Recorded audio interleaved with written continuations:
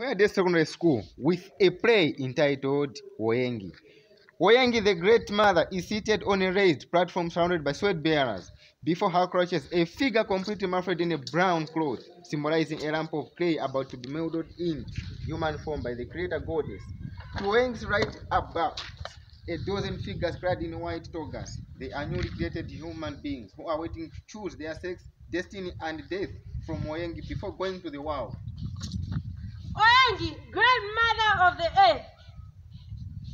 Oyangi, grandmother of the earth. Let me be a mother. Let me be beautiful. Let me bear children and, until my wounds get dry. So, be it. Arise and live your life.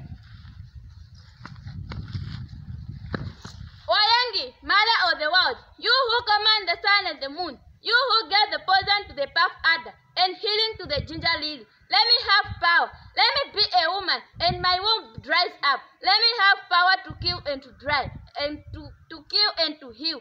Let me die when my heart bursts with power. But is your wish and head of your desire. Arise and take your life. Yet, so be it. You shall not follow your fellow, your fellow creatures. Your wish shall be fulfilled. Woyengi, the mother of the world, the world rises in your hand as you are made it. When yours are on, you made thousands of creatures. Open their mouth and let them speak. Woyengi, the mother of the world, Woyengi, you are raised like his son.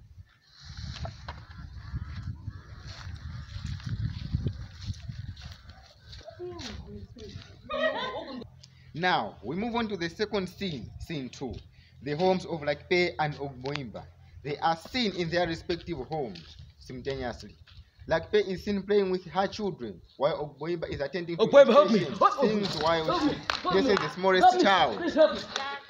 Who has that? Black, black, because of that. Black, black. Who has that? Black, black. Who has that? Black, black, that. You are okay now. I have hope that you are okay now. We can't die together, while though we don't come together. The trees which grows on the farm doesn't kill people. You are okay now. You can go. Thank you. Who has leaves the room. The children gather that? around Black, Ogboinba. black. They urge her to sing and Black, play with her. Don't Ogboinba still a bit black. Distressed and relaxed and Auntie, finally you're gives in. welcome. You're welcome, Auntie. Welcome, my sister. Welcome, Obinga. How the children love you. How they're kind to you more than to their own mother. Let me get you some food. No, Lakpe, please don't bother. I'm all right. No, no, you can't leave my house without eating. And I have bushmeat as well. All right. And you can sing for us. sing for us. Oruwa, um. oruwa, On them, oruwa, um. oruwa, on them, oruwa, um. oruwa, on them, oruwa, oruwa, on them, oruwa, oruwa, on them, oruwa, oruwa, on them. oruwa, oruwa. No, No, man, Auntie we do want to Flora. dance.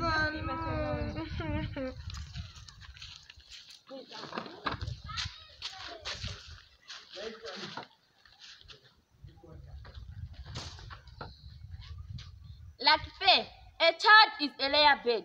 A child is a precious gold. You can't buy one child on the market, even if you have got all the money in this world. I cannot bear it. I cannot bear it any longer.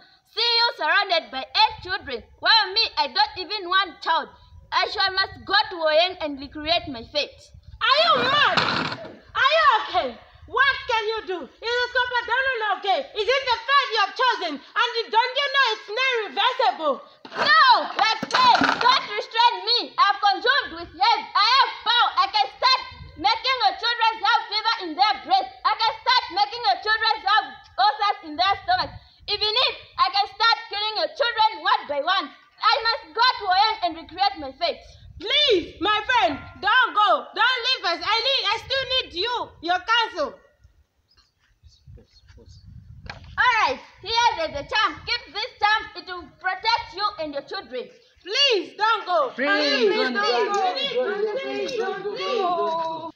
In the forest, Ogboinba enters from left, followed by the two spirit powers. She stops for a moment and looks around. Isembi, king of the forest, enters from the right, dressed like a hunter, but more richly adorned. He is followed by two bird-like creatures, who likewise symbolize his spiritual powers. Yelepe, yelepe. Danger! No paper! No human creature can cross my line. No human creation can be able to thwart my sacred praise. No, he said I'm up for him, a person who doesn't listen to no one's command. I'm also a assembly. I have the power. This one is mine. I can push him. Boom, boom. Elepe, elepe. Oh no, oh no. You fool! I deserve your life. No, you don't deserve it.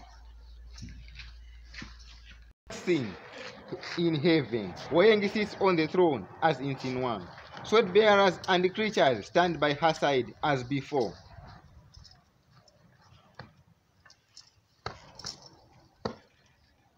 My creatures approach.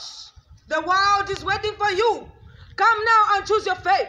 But when choosing, choose wise. No, hold your words. I've achieved the impossible. I've achieved. As I've, I've done the impossible. Come, let us match our powers. How dare you challenge me? I who created the world with my hand. Are you out of your mind? Are you crazy? Oh, I can see that you're hiding behind of that pregnant woman. You suffer for the rest of your life, and I'll never change my words, sir. And I'll never give you a second chance.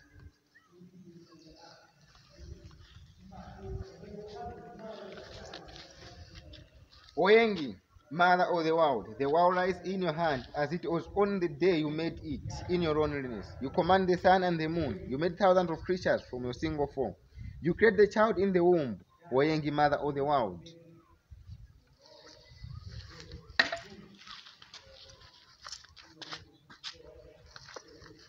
My name is Amare Han, coming from Hoya Day Secondary School. In this play, I was the narrator.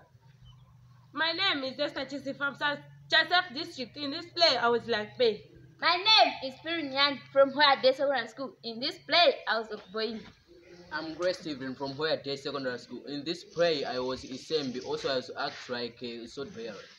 My name is Kasana Berry. In this play, I was Oyengi, the mother of the world. Thank you. Thank you.